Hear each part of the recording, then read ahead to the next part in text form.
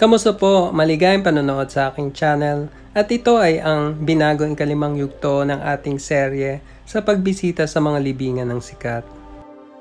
Sa yugtong ito, tayo ay bumalik sa Manila Memorial Park sa Paranaque upang maghanap ng mga kilalang individual, mga dating sikat na mga artista at iba pang personalidad na nakalibing dito sa bahaging ito ng Metro Manila. Halika at sumama kayo upang muli nating sariwain ang istorya ng buhay at bisitahin ang huling hantungan ng mga biktima ng karumal-dumal na krimen noong 1991 at 2007 na hindi pa rin nabibigyan ng katarungan magpasa hanggang ngayon. Matatagpuan sa gitnang bahagi ng sementeryo sa Court of Immortals ang huling hantungan ni Ruby Rose Barameda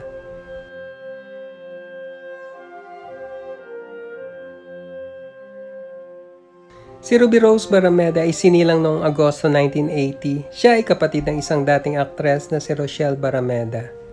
Noong Marso 2007, si Ruby Rose ay biglang nawala matapos ang kanyang pagbisita sa mga anak na nakapisan sa kanyang asawa at biyanan.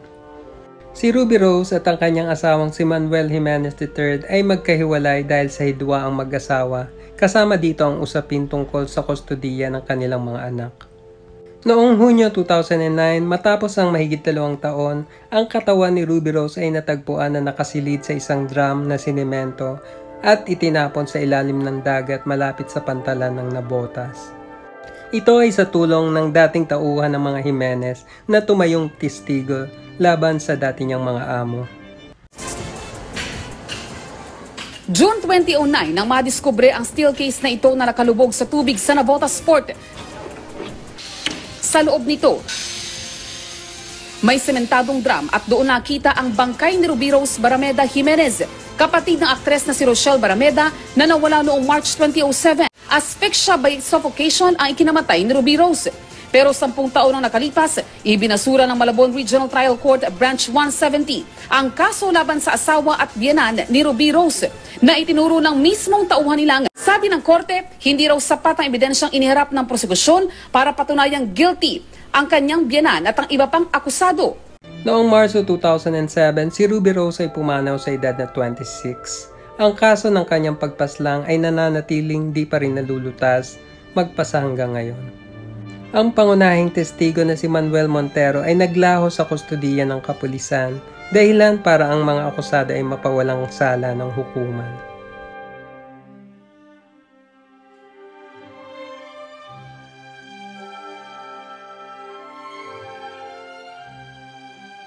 Matatagpuan sa gitnang bahagi ng sementeryo sa Lakeside Garden ang huling hantungan ng mga Visconde. Noong gabi ng ikatatlumpu ng Hunyo 1991, ang mag-iinang Visconde ay walang awang pinaslang sa kanilang tahanan sa BF Homes sa Paranaque. Ang ina na si Estrelita na 49 noon ay nagtamo ng labing tatlong saksak ang kanyang mga anak na si Carmela na labing siyam noon ay nagtamo ng labing pitong saksak at ginahasa bago pinatay. Si Anna Marie Jennifer, anim na taong gulang noon, ay nagtamo ng labing siyam na saksak. Si Mang Lauro, ang ama ng tahanan, ay kasalukuyang nasa Amerika noong naganap ang krimen. Ang Visconde Massacre ay kinagulat ng buong bansa at dahil dito, tatlong bersyon ng mga pelikula ang ginawa dahil sa karumal-dumal na pangyayaring ito. Ito ay ang 1993 The Visconde Massacre God Help Us na pinagbidahan ni Chris Aquino bilang si Carmela kasama si Romeo Vasquez bilang si Mang Lauro.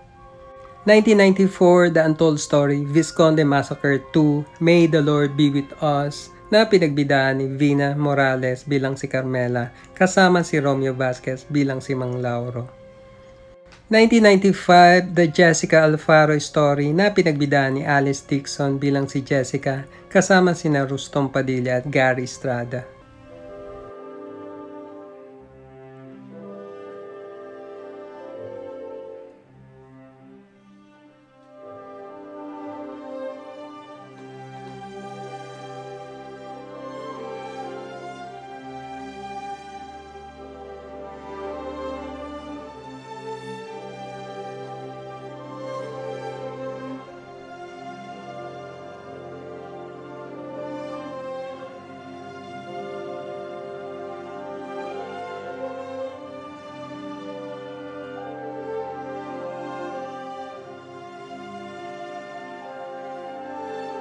Nagsimula ang paglilitis sa hukuman noong Agosto 1995 laban sa pangunahing suspect na si Hubert Webb at iba pang mga nasa sakdal na sina Antonio Lejano II, Hospicio Fernandez, Michael Gatchalian, Miguel Rodriguez, Peter Estrada, Joey Fillard at Artemio Ventura.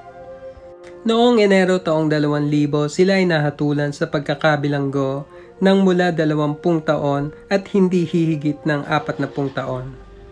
Noong Disyembre 2010, binaliktad ng Korte Suprema ang naunang hatol sa mga nasa sakdal at napawalang sala sina Hubert Webb at kanyang mga kasama matapos ang labing limang taong pagkakabilanggo. The court and bank in a vote of 7-4 with four justices taking no part has acquitted Hubert Jeffrey P. Webb.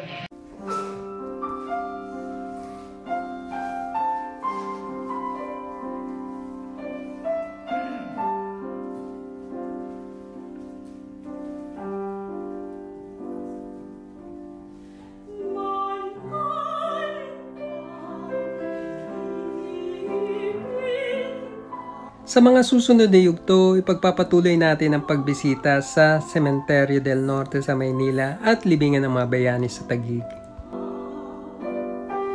Abangan din sa channel na ito magpo-post din kami ng iba pang video sa pagdalaw natin sa Loyola Memorial Park sa Paranaque at sa Marikina. Salamat po sa panonood. Maaari lamang na mag-subscribe kung gusto nyo ang channel na ito. Magkita-kita tayo sa ating susunod pang mga pagbisita sa mga namayabang sikat at iba pang personalidad.